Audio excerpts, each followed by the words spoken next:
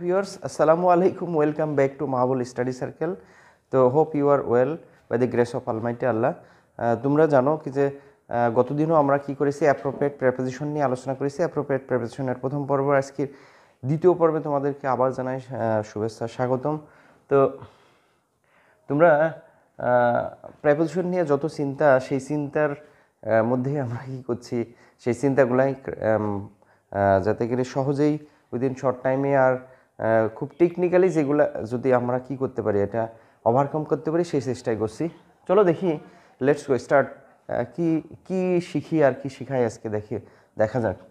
তো গত দিনের ন্যায়ও আমরা কি করেছি, খুব সহজেই যাতে আমরা মেমোরাইজ করতে পারি, সেজন্য আমরা কি করছি যে, এই যে বিভিন্ন ওয়ার্ড একটা গ্রুপ আকারে হ্যাঁ লিখছি আমরা।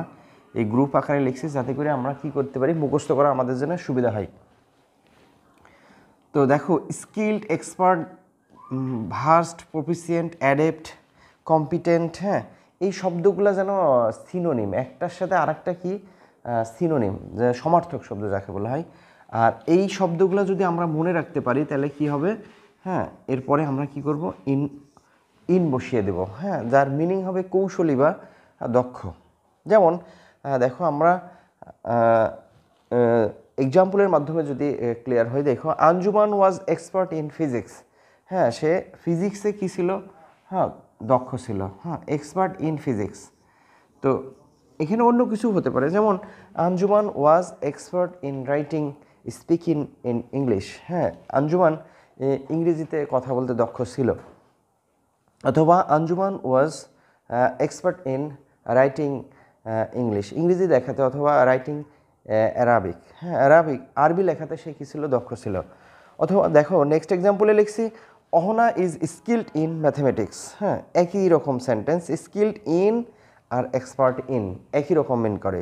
সে দক্ষ বা কৌশলী। হুম, যেমন নেক্সট এক্সাম্পলে দেখছি কি যে, আমিনুল ইজ স্কিল্ড অ্যাড কেন হলো এটা একটু এক্সেপশন হ্যাঁ। এইখানে মনে রাখার জন্য যেটা মনে রাখতে হবে কি যে স্কিল্ড তো ইন হওয়ার কথা, সব জায়গাতেই কেন স্যার এখানে অ্যাড হলো? সেটার ব্যাপারে আমি কথা বলি, সেটা হচ্ছে যখন তোমরা দেখবা কি যে হাতের কোনো কাজে দক্ষ, যেমন সে শাড়ি বোনাতে দক্ষ হ্যাঁ গামছা বোনাতে বুনন করতে দক্ষ। এই যে ছবি অঙ্কন করাও একটা কি হাতের দক্ষতা। সেই জন্য এখানে কী হয়েছে, আমরা যখন হাতের কোনো কাজে আমরা দক্ষ হব, তখন কি করব, আমরা এই স্কিলটের পরে ইন না বসিয়ে কি করব, অ্যাড বসাবো হ্যাঁ? তো এই এই এই ক্ষেত্রে আমাদেরকে কি করতে হবে, একটু টেকনিক্যালি মনে রাখতে হবে কিন্তু যখন কোনো ব্যক্তি হাতের কোনো কাজে দক্ষ হবে, তখন ইন না বসা কী করব হ্যাঁ আমরা ওই জায়গাতে অ্যাড বসিয়ে দেব হ্যাঁ? তাহলে Aminul is skilled at drawing picture. এই যে ছবি অঙ্কন করার যে একটা তার দক্ষতা, এই জায়গাতে কি করছে আমরা? ইন না করে কি করছি? অ্যাড করছি। তো ঠিক আছে বন্ধুরা, পরের স্টেপটা দেখি। দেখো বন্ধুরা catch hold seize grasp not grasps grasp পির উচ্চারণ এখানে হবে না।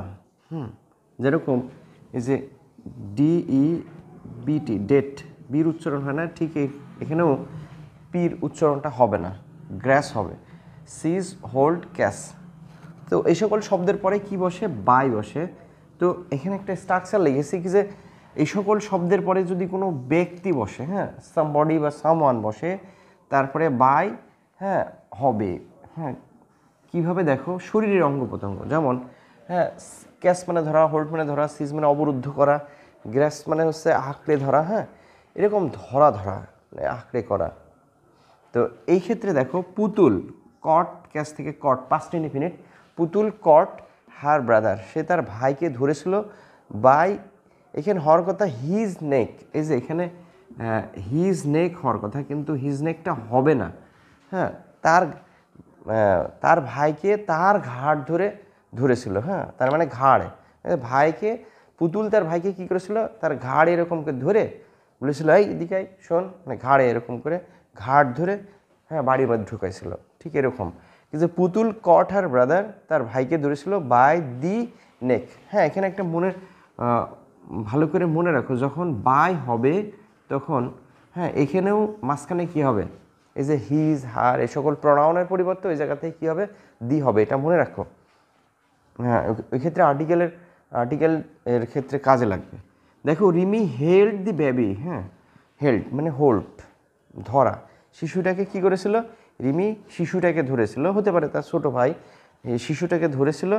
হ্যাঁ কি করে? এখানে আমরা মিস্টেক করেছি বাই দি হ্যান্ড মানে হাত দিয়ে ধরেছিল। তার মানে তা ওই শিশুটার হাত দিয়ে বাড়ির মধ্যে এনেছিল। হাত দিয়ে ধরে বাড়ির মধ্যে এনেছে- এনেছিল, এরকম। তার মানে সে শিশুটাকে ধরেছিল কি করে? হাত দিয়ে। মানে হাত দিয়ে বেশি করে না, এরকম। তো হাত দিয়ে ধরেছিল। তার মানে ওই শিশুর হাতে ধরেছিল। হাতে ধরে বাড়ি বার ঢুকালো, অথবা হাতে ধরে ঘর থেকে বাইর করে দিল, এরকম ব্যাপারটা। তারপরে দেখো, তো এই ক্ষেত্রে দেখো কি যে এইগুলা মনে রাখার ক্ষেত্রে কি যে কি হবে? সামান বাই তারপরে শরীরের অঙ্গ প্রত্যঙ্গ এই যে, হ্যান্ড, নেক হ্যাঁ লিমস, এই যে এখানে একটা জিনিস মনে রাখো লিম মানে নট লিমস হবে বীর উচ্চারণ হবে না লিমস লিমস মানে হচ্ছে অঙ্গ প্রত্যঙ্গ শরীরের কোনো অঙ্গ প্রত্যঙ্গ হ্যাঁ এই যে হ্যান্ড, নেক হ্যাঁ লেগ এগুলো শরীরের অঙ্গ প্রত্যঙ্গ। এই, এইগুলোর আগে কি হবে? বাই হবে। তো নেক্সটে দেখো গুড অ্যাট গুড অ্যাট মানে দক্ষ হ্যাঁ? তো ব্যাড অ্যাট মানে কি? খারাপ। তো হি ইজ অথবা Anwar was good at English ইংরেজিতে দক্ষ ছিল। কোনো বিষয়ে দক্ষ। এই যে ইংলিশ একটা, এখানে একটা সাবজেক্ট বিষয়। সেই ক্ষেত্রে এখানে কি হলো? Anwar was good at English Anwar ইংরেজিতে দক্ষ ছিল। কোনো বিষয়ে যদি কেউ দক্ষ হয় তাহলে কী হবে? গুড অ্যাট আবার এরকমও হয় গুড অ্যাট ইন এটা মানেও কি হয়? দক্ষ হয়। গুড অ্যাট ইন দেখো বন্ধুরা হ্যাঁ alert of careful of aware of cautious উচ্চারণ হবে কশ্বাস উচ্চারণটা আমি একটু লিখে দিই। ক শ্বাস কশাস নট ক্যাশিয়াস কশাস হ্যাঁ ভ্যাজিলেন্ট অব হ্যাঁ। তো এই যে of alert of careful of aware of cautious of vigilant of এইগুলার সবগুলার পরেই কি হবে? অব হবে। আর এটা মনে রাখতে হবে কি যে এইগুলোর সবগুলার মিনিংই কি? হ্যাঁ সতর্ক। তো অ্যালার্ট মানে সতর্ক কেয়ারফুল মানে সতর্ক অ্যাওয়ার মানে সতর্ক কশাস মানে সতর্ক ভেজিলেন্ট মানে কি? সতর্ক হ্যাঁ। তো ভিজিল্যান্ট মানে সতর্ক, সবগুলা মানেই কি সতর্ক? তো এই সতর্ক যদি মনে রাখো, একটা সিনোনিম একটা ওয়ার্ডের সিনোনিমগুলো যদি মনে রাখো, তাহলে পরে কী হবে? সবগুলোর পরে তোমরা কী হবে? অব বসিয়ে দিবা। হ্যাঁ তারপরে এটাও বলি কি যে এই ও এফের উচ্চারণ হবে অব নট অফ অব, দুইটা ঠোঁট একসাথে স্টপ হয়ে যাবে, অব। আর যখন ও ডাবল এফ হবে, ওর উচ্চারণ হবে অফ মানে বাতাস বাড়িয়ে যাবে। You should be careful of your health careful তোমার উচিত কি করা? হ্যাঁ তোমার স্বাস্থ্যের প্রতি যত্নবান হওয়া হ্যাঁ সতর্ক হওয়া উচিত। যত্নবান বা সতর্ক হ্যাঁ যেমন next example I am not aware of the matter I am not aware of the fact আমি বিষয়টি নিয়ে কি না অ্যাওয়ার না মানে সতর্ক না হ্যাঁ অথবা এরকম হওয়ার বলতে পারো যে I was I should be aware of the fact হ্যাঁ বিষয়টা নিয়ে আমার কি হওয়া উচিত ছিল? সতর্ক হওয়া উচিত ছিল। তো দেখো, রিমি, হুম, বা Rumi Rumi was alert of R danger alert মানে সতর্ক ছিল সে। রুমি কী ছিল? তার বিপদে সে কী ছিল? সতর্ক ছিল। দেখো অ্যালার্টের পরে কী হয়েছে? অব এখানে অ্যাওয়ারের পরে কি? অব জাস্ট একটু টেকনিক অবলম্বন করলেই হবে। আর প্রেপোজিশনে এরকম একটা জটিল, তো জটিল একটা ব্যাপার কি যে, তুমি যদি প্রেপোজিশনে ভালো দখল না নিয়ে আসতে পারো, না পারবা তুমি ভালো রাইটিং স্কিল ডেভেলপ করতে, না পারবা ভালো রিডিং স্কিল না পারবা তুমি মানে you will not be able to show your performance any competitive exam in your throughout your life তো মানে সমস্ত জীবনে তুমি আহ, চাকরি মানে অ্যাডমিশন থেকে শুরু করে চাকরির যত বড় বড় বাজার আছে সব জায়গাতেই হ্যাঁ প্রেপোজিশন একটা গুরুত্বপূর্ণ ভূমিকা রাখে।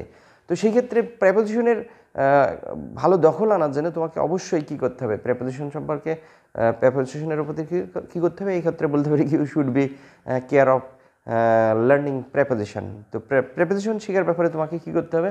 সতর্ক থাকতে হবে। সো হ্যাঁ it is high time to learn preposition হ্যাঁ it is high time to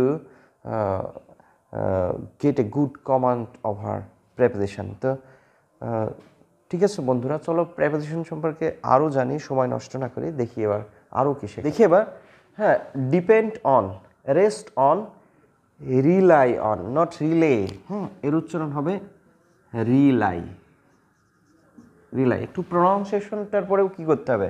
আমাদেরকে নজর রাখতে হবে।